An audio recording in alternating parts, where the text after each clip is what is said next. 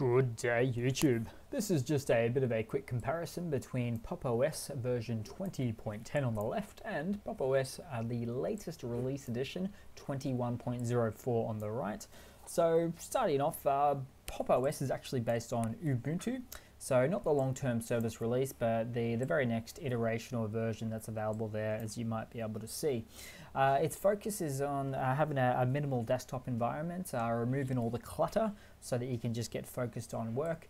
But uh, there are some interesting, uh, some improvements, maybe with a little bit more clutter on the latest release, which I'll mention in a moment there. Now, these are point releases, so you get updates every six months or so, so not a roll-in release by any means. The desktop environment is actually uh, running on the GNOME desktop environment there, a bit of a tweaked version uh, specific to uh, Pop! OS. It was also a, uh, this also comes from the, uh, the hardware retailer uh, System76 in the States there as well.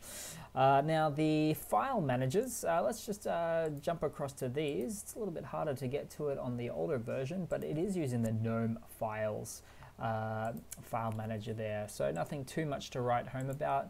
Uh, it's basically got a nice little uh, theme uh, based on Pop! OS, so the, the dark grey and the, the blue, so nice enough to see. If we are to go a little bit further across and have a look at uh, the app drawer, see what we can find. The app drawer on the new version is actually on the, the bottom middle there, so very uh, let's say Mac OS-esque or Windows 11-esque there as well.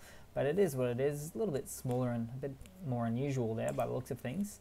But that is what it is there.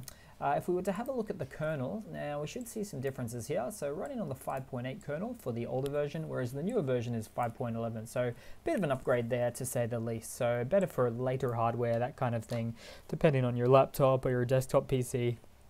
Now, last but not least would be the, uh, the RAM usage. Now, I've always found Pop! OS to be a little bit more higher on the CPU and usage. Now, it is mostly idling out there on the CPU side of things, but the RAM is uh, fairly consistently at about 900 uh, megabytes of RAM on boot up, or about a thousand, or a gig, I should say, there, as you can see on the older version.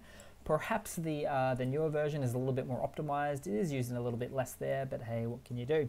So that's pretty much it guys, just a super simple, quick, fun video just to show you some of the similarities uh, and uh, comparisons or, or, differences between Pop! OS, the uh, previous release 20.10 and the latest release 21.04. So thanks again, uh, please leave a comment, subscribe, hit that like button and I do hope to see you all there in the next one. Cheers.